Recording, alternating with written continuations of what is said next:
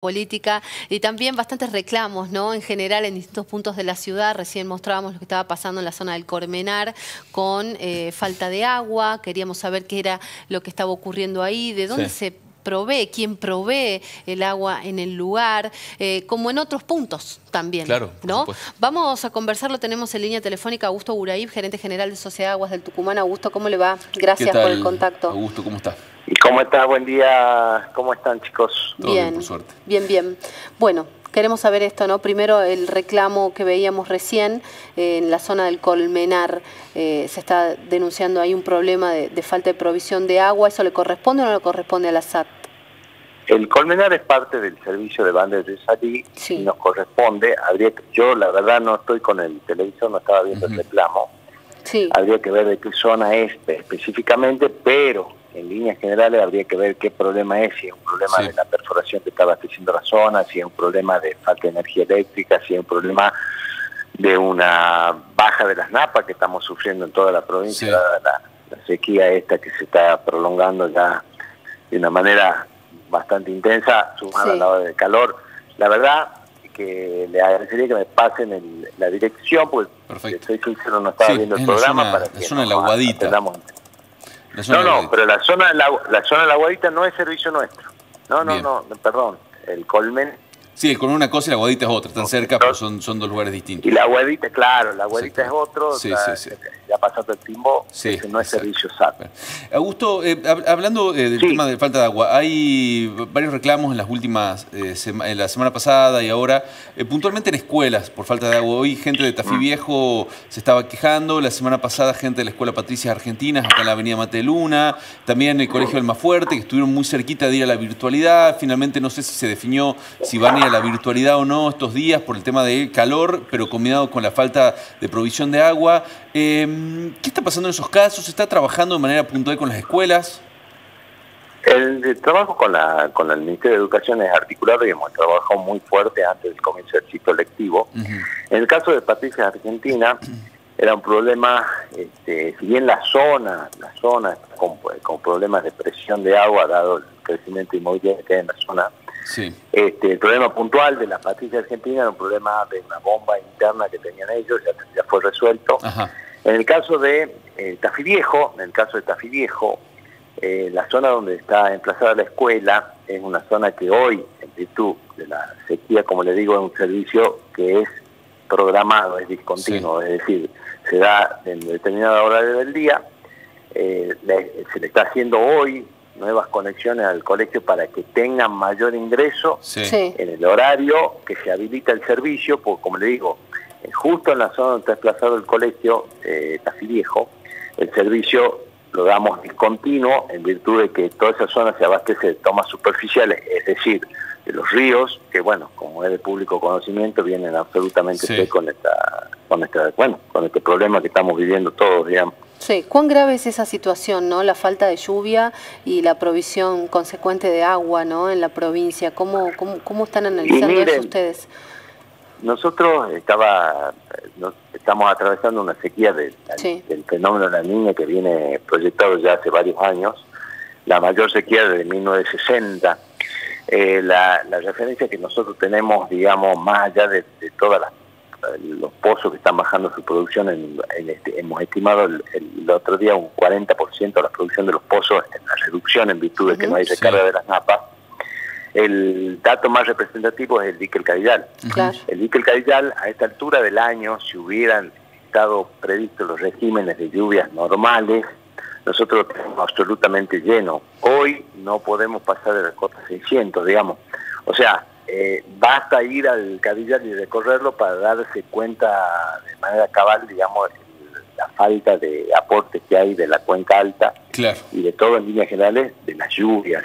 y es más, si hoy, digamos, eh, se estima que el fenómeno de la niña se va a empezar a revertir a mediados de mayo, con lo cual empezaríamos, claro, más allá de que falta mucho, empezaríamos a tener las lluvias propias de mayo y junio, o sea, son lluvias que ya por una cuestión meteorológica son mucho menores que las lluvias que necesitábamos en febrero y marzo para empezar a encarar el verano que viene con un aporte que no solo recargue las napas freáticas para que nosotros tengamos agua en los pozos, sino que pueda llenar el dique, que es el abastecimiento del 50% de San Miguel de Tucumán. Sí. ¿Y eso cómo, va, cómo va a plantear, digo, el panorama futuro? Eh, ¿O qué medidas puede llegar a tomar la SAT con respecto a eso?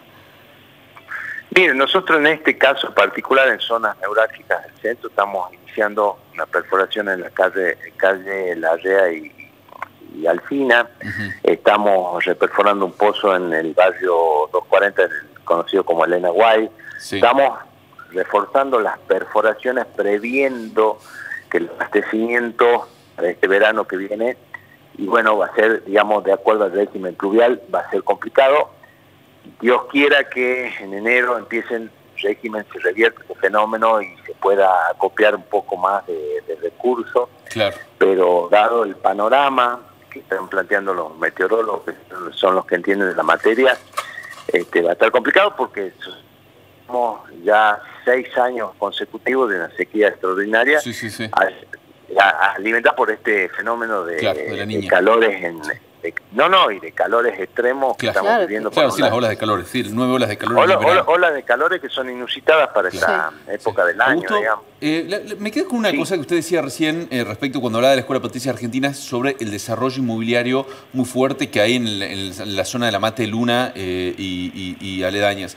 Em, ¿Esto qué perspectivas presenta? Porque es una zona que está en, franco crecimiento, se están haciendo muchos edificios y seguramente hay otros lugares, en la, en la, por lo menos en el Gran San Miguel de Tumán, que pasan por situaciones similares. Eh, ¿Tienen algún plan previsto para evitar que en el futuro haya falta de suministro? Eh, ¿Son obras muy grandes que por ahí cuesta hacerlas? ¿Cómo es la situación? No, nosotros ya previmos esa situación cuando lanzamos el plan de renovación histórica hace dos años. Renovamos toda la cañería que va por Mate de Luna, interconectándola con las, avenidas perpendiculares para reforzar justamente la, producción, digamos, para reforzar el abastecimiento. el problema es que los pozos que abastecen toda esa zona han bajado su, producción, digamos. O sea que el, recambio de cañería que no se hizo hace 60 años lo hicimos hace dos años nosotros en toda la avenida Mateluna. y en toda la avenida Belgrano también, previendo que se iban a seguir desarrollando estos emprendimientos inmobiliarios, pero hoy el problema no es la... Nosotros tenemos separados dos, digamos, el abastecimiento de agua por producción y distribución. La distribución habla de la cañería y la producción habla de las fuentes de producción de agua. Hoy el problema que tenemos con estos calores y esta sequía es la fuente, no la distribución. O sea, solucionándose el tema de las fuentes, o sea, de la recarga de los acuíferos y de que los pozos puedan volver a producir su caudal inicial, estaría resuelto porque la distribución, que era la cañería, ya está resuelta. Una, una pregunta más. La semana pasada estuvimos en Villa 9 de Julio eh, con el reclamo de varios vecinos por derrames cloacales. Incluso mostraban las imágenes de cómo hacían para evitar que esto resurja en el medio de sus casas. Era una situación horrible. Eh, ¿Qué está haciendo ahí la, la, SAT? ¿Qué respuesta se le puede dar a esos vecinos? Sé que había alguna obra que estaba por iniciarse, pero bueno, mientras tanto hace 40 años, dicen ellos, viven en esa condición.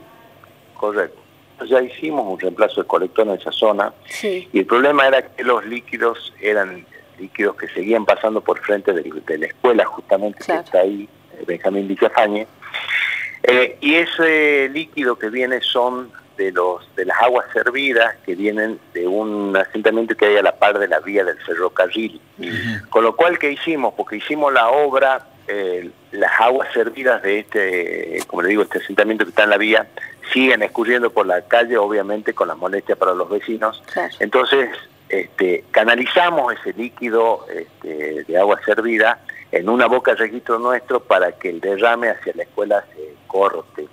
Y también estamos este, iniciando una obra también en la Estanislao del Campo para terminar de resolver el problema en la zona este, porque esto es así, digamos, nosotros necesitamos garantizar el descubrimiento primero para después de resolver los problemas. O sea, nosotros estamos cambiando el colector aguas abajo, es quizás por eso que no se ve la obra, porque estamos en otra zona. Si bien la zona problemática estamos a dos cuadras ya terminando la obra inicial, este, estamos terminando de hacer la obra definitiva para sacar los líquidos cloacales que corresponden al servicio de líquidos cloacales. En este caso, como le digo, hay un aporte de aguas servidas que viene de la vía del ferrocarril, que ahí no podemos hacer nada, digamos, porque es terreno federal y no podemos ingresar con, con cañería convalidando, digamos, de alguna manera un asentamiento. Está bien, muy bien. Bueno, Augusto, le agradecemos muchísimo. Gracias, ¿eh? ¿eh? No, por favor, a disposición como siempre. Un saludo. Bueno, Augusto Guraib, él es el gerente de la Sociedad Aguas del Tucumán, bueno, explicando todas estas situaciones con las escuelas, con eh, Villano de Julio y